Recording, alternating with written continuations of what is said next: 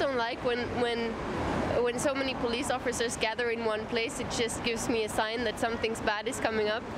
So uh, I guess I'm just scared that something will happen. I don't know what, but uh, when many people gather in one place, it's just the perfect uh, time for something bad to happen.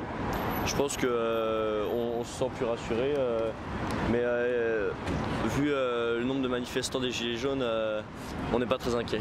Et là aujourd'hui, c'est un peu ridicule. Ça fait, on a énormément de policiers partout. Il n'y a, a aucun manifestant dans la rue. C'est- ridicule. Ça donne un peu, ça fait un peu dictature, mais euh, un peu cheap.